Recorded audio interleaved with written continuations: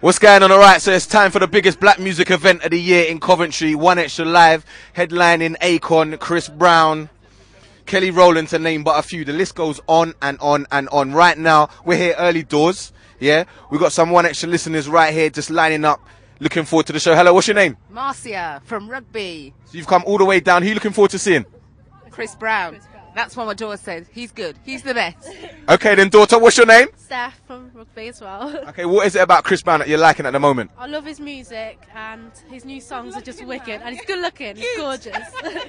Oh, I mean, what time have you been, have you been queuing since? um, we came about how long? About 20 minutes 20 ago. minutes ago, Yeah. and that was it. Wow. It's still very, very early. The tension is building. Ace and Vis right now. it is. It's the outdoor tour right now. We're going to go in in a minute because it's very, very cold. Are you guys ready to go in with us? Yeah! Well, you have to wait. Nah.